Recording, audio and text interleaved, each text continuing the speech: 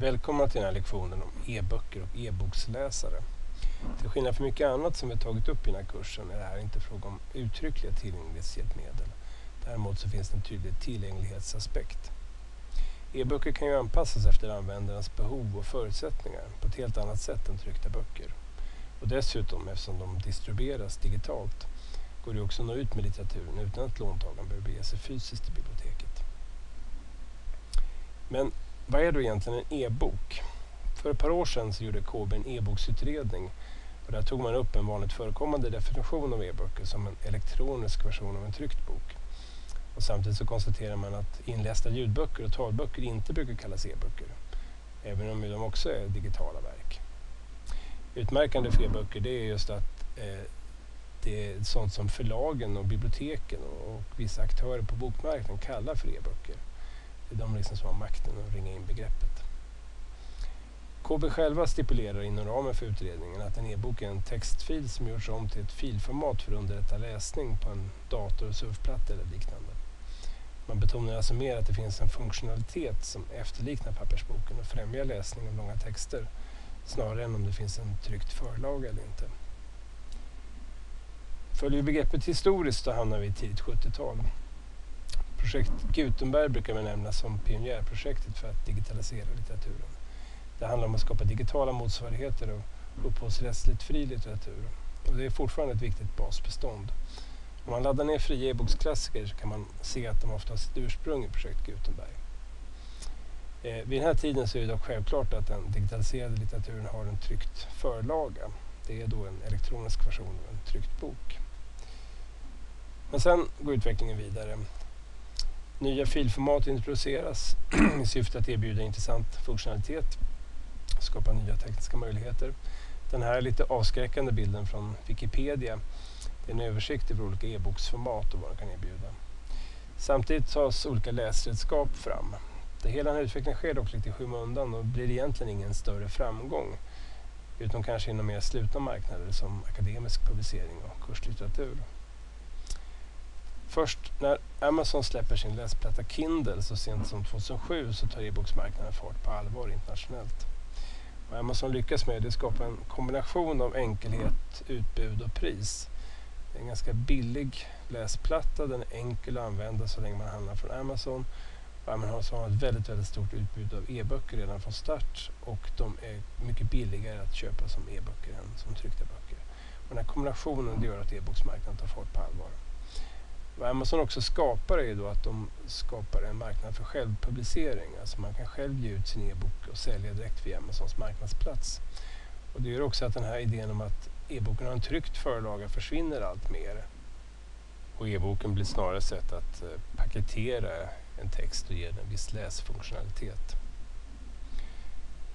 Nästa milstolpe sker 2010 när Apple lanserar iPaden. Sen följer Android-baserade surfplattor och surfplattan blir överhuvudtaget väldigt stor. Eh, surfplattan är lite dubbel ur läsfrämjarsynpunkt. Å ena sidan finns det mycket som kan distrahera från läsning. Kolla sociala medier och mejlen och surfa och spela och sånt där. Men samtidigt sänker den trösklarna eftersom man inte behöver skaffa ett särskilt redskap för läsning utan kan använda något som man ändå har och har skaffat sig av andra skäl. Surfplattan gav också helt nya möjligheter för böcker som integrerar multimedia med texten. Och det visar också hur svävande e-boksbegreppet är. Här ser vi en T.C. Eliots The Wasteland som app. Den innehåller förutom texten en rad olika inläsningar och filmade framföranden av texten och lärda kommentarer och inskannat originalmanuskript och massa godis. Samtidigt så är det inte längre fråga om ett filformat utan precis som andra appar snarare om programvara. Hur e-boken kommer att utvecklas i framtiden det är kanske en öppen fråga. Eh, I Sverige kan vi säga att det är en väldigt het fråga. Vi har haft på bibliotekssidan en eh, dominerande lösning av Elib under lång tid. Eh, och först nu när e-boken börjar slå igenom med Zlatanboken och så, så har vi sett att det här är en modell som inte riktigt håller långsiktigt. Så det är under livlig debatt. Och hur det utvecklar sig, det får framtiden utvisa. I det här sammanhanget kommer vi för alla titta på elboken främst som en EPUB-fil. EPUB är ett filformat som är på väg att bli branschstandard. Det är ett fritt format, det ägs inte av något företag och omfattar i sin senaste version EPUB 3 även DAISY-specifikationen. Så här kan man se hur olika format konvergerar. Det som är utmärkande för EPUB till skillnad från till exempel PDF det är att det är ett format som anpassas efter skärmstorleken. Det är alltså inte en fix layout utan kan flöda om och anpassa sig till olika visningsstorlekar. Sen kan det också vara bra att skilja mellan fria e-böcker, e-böcker utan kopieringsskydd och kommersiella e-böcker. Eh, fria e-böcker är ofta klassiker utan upphovsrätt men det kan också vara titlar som upphovsrättsinnehavaren valt att släppa fria av olika skäl. Ur tillgänglighetssynvinkel är de här fantastiskt bra eftersom man utan inskränkningar kan dra nytta av teknikens möjligheter. Fria e-böcker kan läsas av alla program som stöder filformatet och de kan också konverteras till lämpligt format av gratisprogram som till exempel Caliber. Kommersiella e-böcker är oftast försedda med någon typ av kopieringsskydd.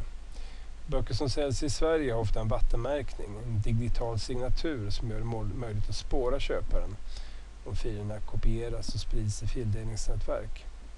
De här vattenmärkningarna begränsar inte vad man kan göra med filen och därför inte något hinder för tillgängligheten. I bibliotekssammanhang används däremot vanligtvis Adobes kopieringsskydd. Man måste ha ett så kallat Adobe-ID för att kunna läsa filerna. Det här är en förutsättning för att tidsbegränsa åtkomsten till boken, det vill säga simulera ett lån. Tyvärr så innebär också att tillgängligheten begränsas. Man kan inte längre välja vilka läsprogram man ska använda. Man kan alltså inte utnyttja eh, fullt ut eh, de möjligheter som tekniken ger. Vi ska nu ladda ner e-böcker och titta närmare på tre olika e-boksläsare. Apples iBooks, Bluefire Reader eh, samt Readmill som både är en läsapp och en läscommunity.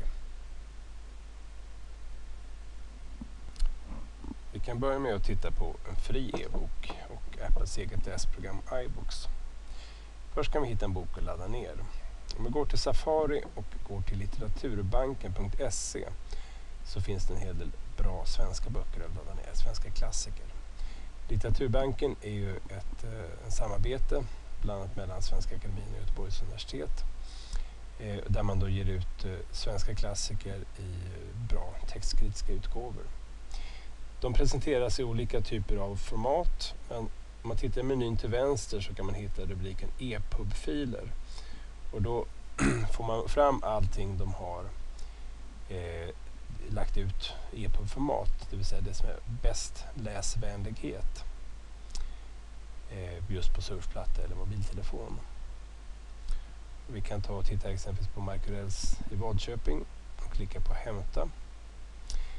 Vad som händer nu är att den försöker ladda ner en EPUB-fil och om vi då har installerat en e-boksläsare som stöder EPUB-formatet då kommer vi också få upp det valet här. Och jag har iBooks installerat på den här surfplattan sedan tidigare och då kan jag välja öppna i iBooks. Nu laddar ni ner den här boken till biblioteket och eh, presenterar den. Jag kan bläddra och se. Som ni nu kan se så simulerar ju det här gränssnittet en tryckt bok väldigt mycket i detalj. Det vill säga kan, när jag bläddrar så rör jag en sida som ser ut ungefär som en, en riktig papperssida. Man ser igenom även texten på baksidan. Det här är, att gå väldigt långt att försöka efterlikna fysiska föremål.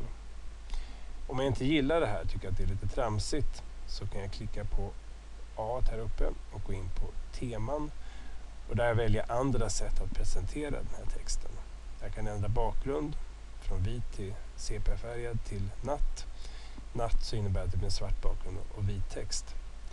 Och jag kan välja mellan bok, det vill säga det som simulerar en tryckt bok, helskärm som har samma funktionalitet men utan den här ornamentiken, eller rulla.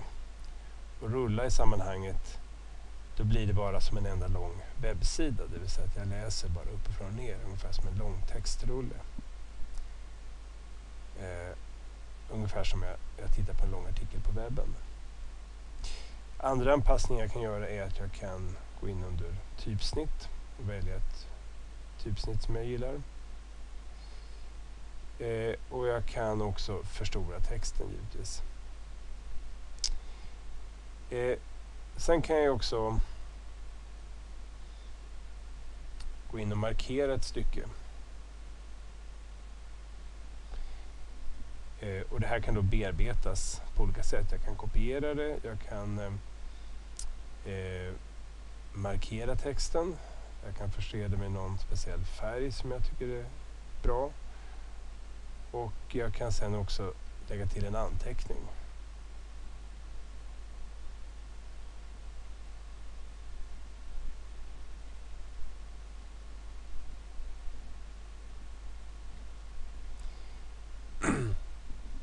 Eh, men som ni kanske såg här så kan jag också välja att eh, få det här uppläst genom att välja talarmarkering. Följderna av denna förvandling blev ödesdigra. Tante Ruttenskjöld beskyllde Elsa för att ha svikit hennes förtroende. Och det är det här som är det som är väldigt bra med Apples e egen e-boksläsare.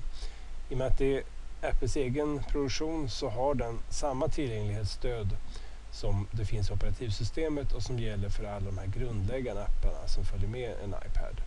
Samma som mejlen och som webbläsaren Safari och som för kalender och, och alla de här programmen.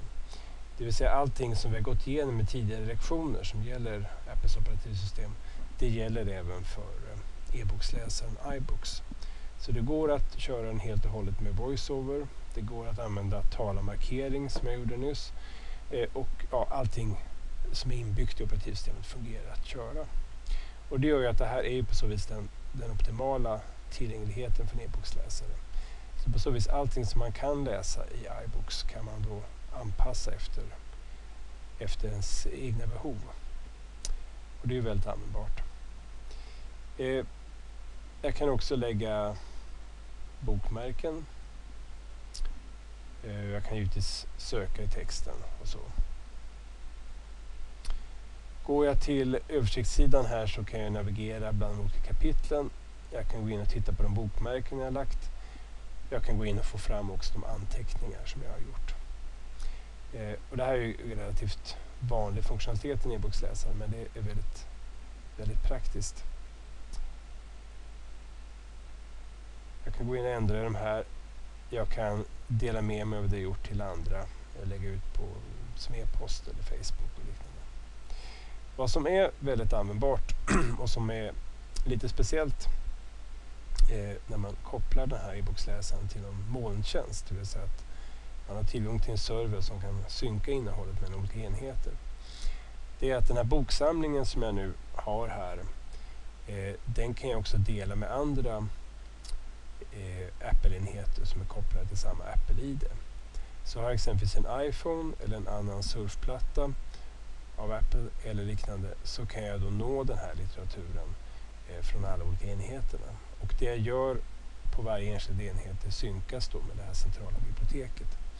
Så jag kan alltså på bussen eller spårvagnen sitta och läsa på min telefon och jag kan göra en anteckning i texten medan jag läser på, på bussen. Och sen när jag kommer hem så kan jag plocka upp iPaden och fortsätta. Då slår den upp automatiskt där jag var när jag lämnade texten på, med telefonen och jag kan ta del av de anteckningar som jag gjorde via telefonen. Och just den här synkningen mellan enheter, är ju, har man väl provat den så är sånt väldigt användbart.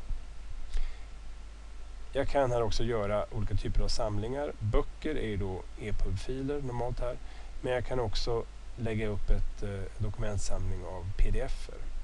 Det här är också en väldigt användbar pdf-läsare i och med att den har stöd för, för all form av uppläsning och så. Så kan man även dra nytta av pdf-erna på det sättet. Cybox är ett gratis bra program att ha installerat om man har en iPad. Och det är ett bra läsprogram då för allting som man kan läsa den vägen. Men vad som inte då fungerar det är att den inte har stöd för Adobes DRM-skydd. Den funkar alltså inte med ELIB-böckerna som biblioteken tillhandahåller idag. Eh, de måste läsas med andra läsprogram. Och det ska vi snart titta på i nästa film.